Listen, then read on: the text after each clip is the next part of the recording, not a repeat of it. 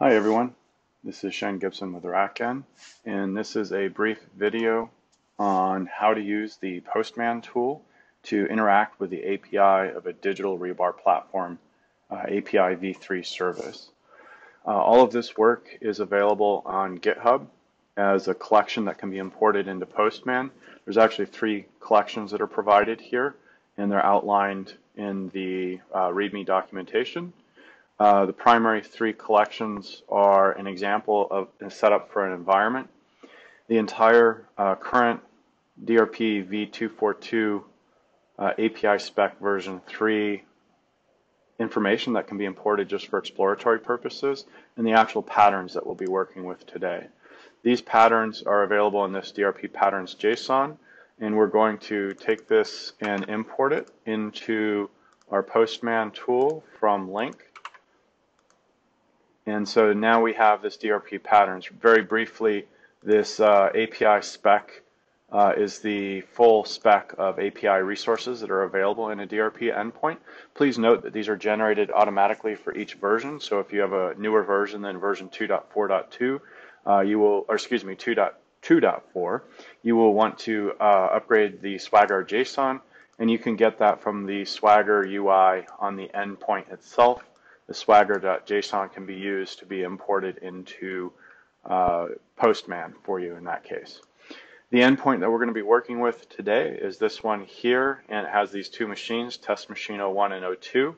Uh, test machine 01 is the one we're going to work with, and we are going to, we have a current profile that's on there, test 1, and we're going to add and remove test 2 profile using the JSON patch operations, which the digital rebar platform uses very extensively for safety controls in a multi-writer environment.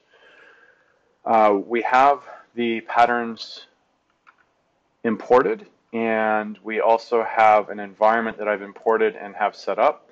Uh, I'm using the environment variables with the RS endpoint, RS username, and RS password, which will be used to authenticate to the DRP endpoint. Now note that these are the product defaults and these will uh, go away and change as soon as the video is over.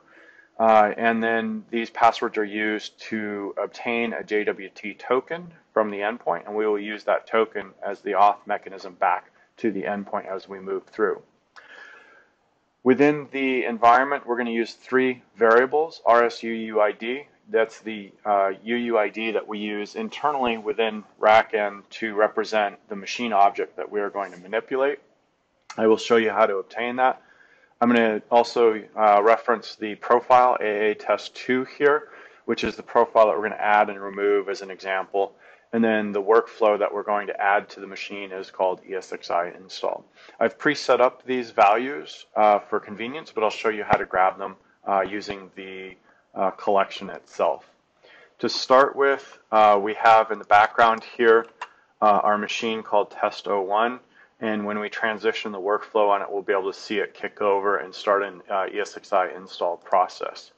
Uh, one of the things that you'll want to note as I transition specifically for the profiles and the workflows is the API uh, will react, the portal will react to the changes in the API, I should say, on the machine object, and we'll see uh, feedback as the profiles are added or the workflow is changed. To start with, there's a, a series of basic uh, GET requests. These uh, objects are, uh, or these requests allow you to get the information from a DRP endpoint. Again, we're going to use uh, the DRP endpoint specified in our environment. Note that we don't have a token here. So we have an rs underscore token variable that will get filled out as soon as we obtain a token, and that's our valid token for authentication. That will be uh, brought in through the collection uh, level authorization. So the collection level authorization is set to bearer token. We will fill it in with the RS token, and we're using a pre-request script here to do the authentication uh, with the username password uh, to get the token from the endpoint. So this is how we interact with the DRP endpoint to get our token. Uh, we will also do a validity check to make sure this token is good. If it's still good and hasn't expired, uh, we won't try and get a new one because that's a slow operation. So that's where the auth is going to come in from uh, on that point. If we go ahead and just execute this, we're going to say send. Uh, this will get uh, a whole bunch of machine, well, not a whole bunch, there's only two machines on this uh, endpoint. For convenience, there is a test, uh, test results that are applied here, and the test will pull out the name and the UUID to the uh, console. So if you don't have the console open, you can open the console from the very bottom left within Postman, and you'll have this open, and we can see that we have our two machines that came off uh, the host. This 855 UUID is the one that I've pre-filled out, and that's the one we're going to use. If we know what specific machine we want to get, we can get just the object and machine object for the machine itself. Uh, in this case, it's going to use the RSUUID, so you can change this variable to reference different machines if you wanted to get the individual machine object. And we can go ahead and send that, and we get the machine object. If we wanted to see the entire uh, payload of the machine, uh, we drop the slim uh, param off of the URL query, and then you'll see we get the parameters here, uh, which there's a whole lot of information that's uh, contained in this payload in the parameter field on the machine. And the slim option allows us to get a smaller uh, payload back, which is much more efficient if we don't care about what's in the payload of the parameters. The other thing that we're going to work with is the workflow, and so we need to get the names of all of the workflows that are available. And so in this case, we're going to do a get operation on the workflows. Note we're just making an API call on the workflows here. Again, I'm using a test to pull out the workflow names for the console, and we can see uh, in the console here uh, over on the left uh, the workflows. Specifically, we'll be looking for the ESXi install workflow is what we're going to uh, work with uh, in this instance. And similarly for profiles, we can do the, the get operation. Similarly, we have the test structure set up, and we can see that uh, all of the available profiles on the machine are iterated. The one that we're going to play with is AA test 2. The one that's already on the machine is AA test 1. All right, so that's how we get the information to figure out what we're going to do the, to the machine. Uh, I failed to show you uh, earlier. So when I did my first request, the pre-request script, uh, notice I didn't have a token, so it did the user pass authentication, got our token, and we see that the RS token field is filled out here in our environment. So that's been added to our environment for the subsequent calls that we've been making. We're going to move into uh, the, um, I'm actually going to move into the workflows first uh, and then show you the profiles manipulation first because the workflow is going to kick off something interesting in the background on the machine. Uh, basically, we're in a standard discover base uh, workflow state here. And the machine's standing by in a waiting state, uh, waiting for us to do something more or interesting or new to the machine. In this case, we're going to transition it to a VMware ESXi install. And to do that, uh, we're going to go through the JSON patch operation. If you don't know about JSON patch, I recommend you read up on it if you're going to interact with a DRP endpoint uh, because the JSON patch uh, process is a very important process for how we interact with uh, DRP endpoints. It provides us uh, safety guarantees when multiple people, APIs, CLIs, web portal are trying to change an object.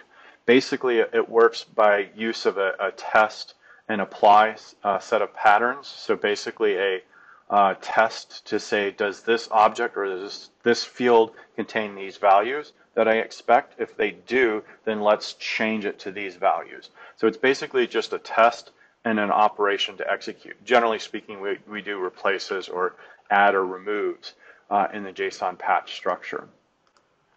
To do that, we have to do multiple API uh, steps. Uh, within the Postman environment, we're going to rely heavily on this environment and variables. So what we're going to do is, as we go through each API flow, we're going to do uh, build up a variable reference here uh, for workflow RS workflow current, which defines the current workflow we're in so we can create that patch operation successfully. So if we go ahead and do our get current workflow, we send the request and we get a response back from the machine. Uh, and we should take a look at our environment. You see we have now RS workflow current, and it tells us we're in Discover base. That's the current workflow that we're in. And if we look through this uh, machine object, we see that indeed the return JSON structure shows we're in the workflow. Just to be pedantic, we go back to the RackN portal, and we see that yes, indeed, we're in Discover base. So the next thing that we want to do in the patch operation is issue the patch. And a patch is done in the body of a response, uh, HTTP request rather. And in this case, it's pretty simple. It's JSON structure, and it, we just specify that we're going to do a test operation. We're going to use the JSON path workflow, uh, which is that uh, workflow field within the JSON machine object. And we're going to tell it that we expect the value to be this RS workflow current. Remember, we captured that. RS workflow current is discover base. So that's what we're going to fill in. Postman's going to fill in for us. Then we're going to tell it we want to replace the workflow path with our new workflow that we are defining. And again, going back to our environment, not to be pedantic, uh, we're going to do the ESXi install as the workflow that we're going to replace. And so, but first, uh, you need to know a little bit about RackN and Digital Rebar platform and how it works. The workflow system is designed to survive uh, multiple reboots of a machine and understand the life cycle of a machine as it transitions between power on, BIOS post, uh, PXE boot, uh, operating system installation, reboot, BIOS uh, uh, update, firmware updates, RAID configurations, reboot. It's designed to handle all of that stuff.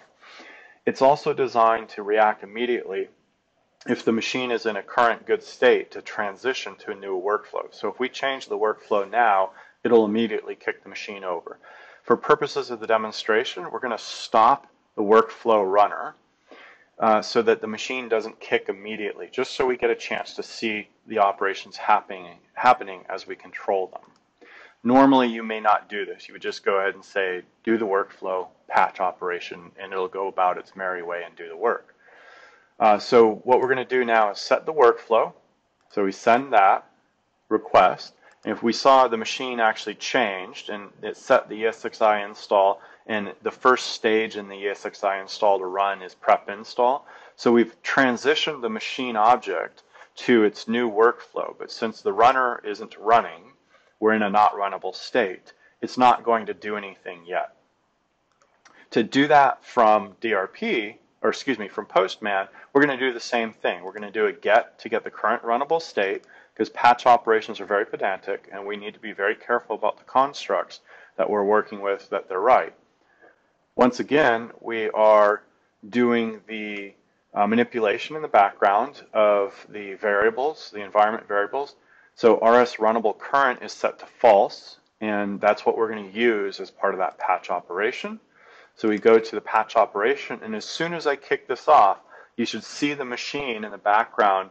Uh, the, the black pause bar will turn to a green play bar, and it'll start executing. We'll also see the console of the machine uh, immediately start a reboot and to start into the ESXi uh, Kickstart Weasel installer process. So let's go ahead and kick that off. And we see that it's uh, kicked off, the play, and all of a sudden a whole bunch of stuff is starting to happen. Uh, based on our in, uh, ESXi install workflow, we're going to install ESXi 670U2, and we see that the machine is indeed performing a reboot operation in the background, and it's going to go about its merry way uh, to start the ESXi install process. So that's uh, very quickly uh, how we just drove a machine through a workflow construct. And uh, you can; these are also set up in the collection so that you can run each of these folders with the Postman's version of a workflow runner, and you can execute the runner. Uh, so in the patterns, go to workflows and set the environment to KVM0, and then run these for operations in sequence in one, one go. So we set up the collection that way specifically to make it easy for you to interact with a single uh, process like that if you want, instead of the step-by-step -step that we just did. Uh, we're going to back up a little bit to the profiles. Profiles is very much just like uh, workflows. This, the process is exactly the same. So uh, as you can see on this profiles list here, there's a single profile on the machine, uh, which is that AA uh, test 1 and we're going to do the, the prep to get the current profiles. We're going to manipulate the uh, environment, so we'll see a RS profiles current and an RS profiles new being specified when we do this. And we do that, and it executes the call. We look at our environment again. Here we go. Our RS uh, profiles current is in fact AA test 1.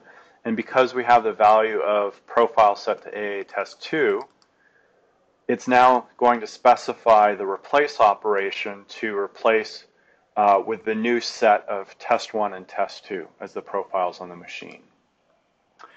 And so when we execute that patch operation, if you watch the machine uh, profiles column, you'll see a new profile uh, tag appear. I believe I set the color orange.